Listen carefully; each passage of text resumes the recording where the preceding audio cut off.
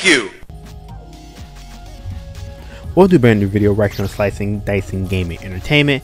I'm Terran. Thank you so much for clicking on this video and hanging with me for a little bit. In this video, I'm back to some Dojo matches I haven't played in a while actually, and I just want to play because I'm just rusty and I miss playing the game. I actually got a couple of matches against one of the best players in the game, and you'll see why they're one of the best players in the game because I lose most of the matches. but it's really good, so much fun. Like, uh, want to run it back and play some more, just kind of get my feet back into the game. And I haven't posted anything on the channel for dojo matches in a while, so I figured this would be a good video to do. Also, I saw that they, you know, wanted to, they were um online, so you know what, fuck it, why not? You know, let's get some matches in. But yeah, I got completely dominated by their Taekwondo, really, really good. I was messing around with Taekwondo because it's a character I always wanted to play around with.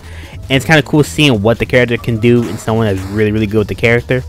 So it's just like something to aspire to. Is one of the best parts of fighting games is playing against someone that you're better than, losing, but also being inspired by their gameplay and trying to learn, you know, just learn from watching what they do. So I'm not gonna talk too long. That's just kind of a little bit of the spill. Um, I'm hopefully maybe get some more dojo matches up for you guys soon. If you guys really like this video, I'll do some more. You know, I'll play some more matches, do some other stuff as well. There's actually um, the survival mode in Dojo Masters been revamped than what it was before. So I might play some of that and post that on the channel if you guys want to be interested in that. Let me know, you know, leave a comment, like, all that good stuff. Anyway, I'm gonna stop talking. I'm gonna let the uh, video rock. Thank you again so much for supporting the channel. Always and forever, slicing, dicing, gaming. Not just a motto, lifestyle. I'll see you next video.